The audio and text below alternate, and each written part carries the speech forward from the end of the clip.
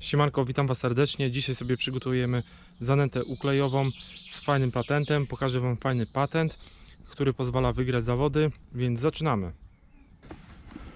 Zaczynamy przygotowanie zanęty uklejowej. Teraz jak to zrobić poprawnie?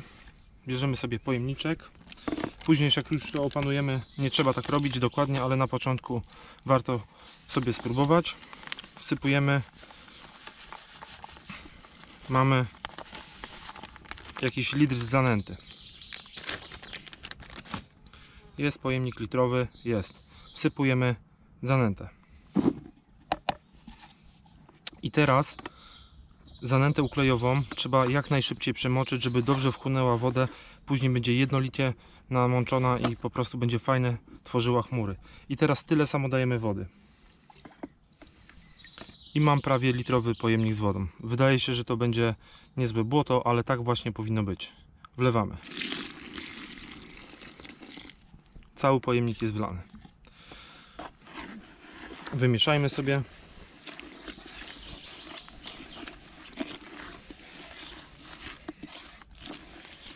Nie bawimy się, tylko od razu przemaczamy zanętę.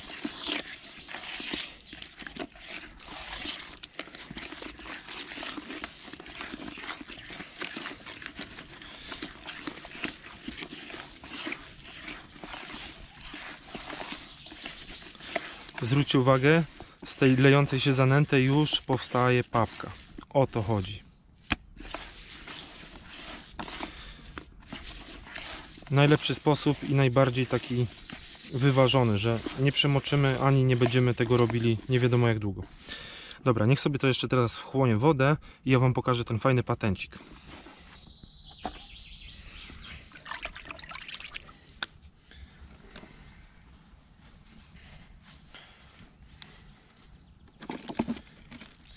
Bierzemy sitko do ochotki i bierzemy pieczywko fluo. Wsypmy sobie trochę.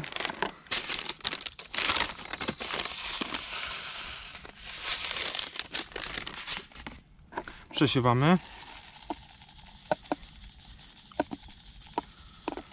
I teraz tak. Dobra, tak się prezentuje pieczywko po przesianiu. Są tutaj tylko drobne frakcje, właśnie takie jakie chcemy. I dodajemy sobie to do pudełka po pinkach. I to jest nasza tajna broń. I teraz kiedy dodajemy tego do naszej zanęty? Chodzi o to, że czasami są zawody uklejowe, że łowimy tylko uklei, tylko uklej się liczy. No to wtedy tego nie, nie stosujemy, bo często w to wchodzą krąpie albo płotki. Stosujemy to wtedy, kiedy się liczą wszystkie ryby. Przykładowo, ja na Wiśle często łowię ukleje. Zdarzyło mi się wygrać okręg, który mnie wysłał na Mistrzostwa Polski właśnie dzięki ukulejom i łowieniu średnich ryb. Nikt tego nie widział, co robię, ale właśnie między uklejami wchodziły mi krąpie. Zauważyłem, że wchodzą krąpie.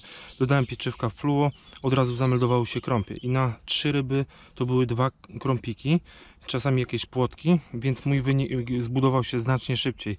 Kiedy ktoś łowił ukulej 15-gramowe, ja miałem często krąpie po 20, 30, 40 gram, czyli mój wynik był znacznie większy. Właśnie dzięki stosowaniu pieczywka fluo. Kiedy go nie stosujemy, często jest tak, że wchodzą bardzo małe jaziaki albo klenie. One bardzo przypominają ukuleje i tylko przeszkadzają, a wiadomo, do wyniku nie będą się liczyły. Więc mamy w pudełku tylko część zanęty i tą część zanęty mamy zrobioną z pieczywkiem fluo. Wygląda to w ten sposób.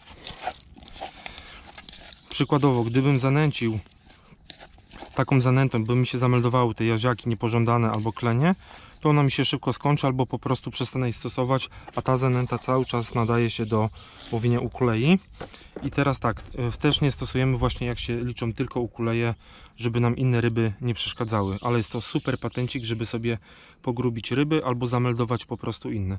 Gdy zobaczymy przy łowieniu ukulei, że się jakieś inne meldują ryby, przykładowo krąpiki na Wiśle, to jest oczywiście przykład, to możemy dodać takiego pieczywka i zwiększamy swoje szanse na wygranie zawodów.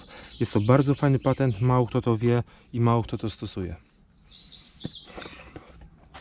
Zwróćcie uwagę, miałem litr zanęty, miałem litr wody i praktycznie zanęta wyszła super, nawet już jest trochę zasucha. To jest nieprawdopodobne, że tak szybko wchłonęła taką dużą ilość wody. Teraz już dodawanie wody musi być naprawdę ostrożne, żeby nie przemoczyć tej zanęty. Tak to powinno wyglądać. Gdy bierzemy suchą ręką, zanęta praktycznie nie brudzi rąk, ona odchodzi, mogę rzucać małe porcje, nie brudzę sobie rąk, wtedy szybciej operuję wędką, szybciej wyhaczam ryby, szybciej nakładam y, pinkę na haczyk. Jest to bardzo ważne. W ten sposób powinna wyglądać zanęta. Ta jeszcze wymaga domoczenia. Teraz już bardzo ostrożnie.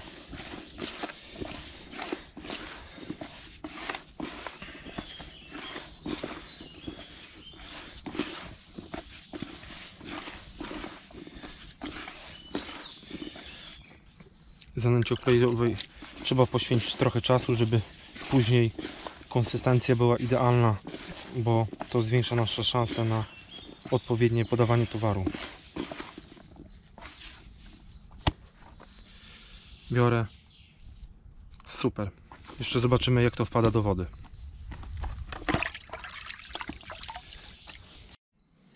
Bierzemy zanętę, tyle co w dwa palce i rzucamy. Pięknie tworzy chmurę. O to chodzi.